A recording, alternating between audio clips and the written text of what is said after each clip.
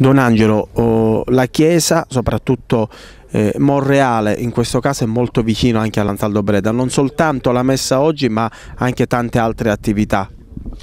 Ma da quando Monsignor Pennisi è arcivescovo di Monreale ha da subito attivato una grande attenzione nei confronti del mondo del lavoro e delle nostre aziende. Ed è stato presente non solo eh, ed esclusivamente in queste aziende che sono in sofferenza, l'Ansaldo Breda o magari qualche altra come l'Italtelle, ma lui ha messo in programma, e io in questo l'ho sostenuto come direttore diocesano dello dell'ufficio pastorale del lavoro e pastorale sociale, lui ha posto in essere una visita a Natale e a Pasqua delle aziende, un incontro con i lavoratori, un momento eh, di preghiera e di confronto. E tutto questo proprio domani si concluderà con un incontro a mezzogiorno eh, presso l'azienda Omer di Carini con tutti gli imprenditori e il mondo politico, in modo particolare l'assessore regionale alle attività produttive produttive.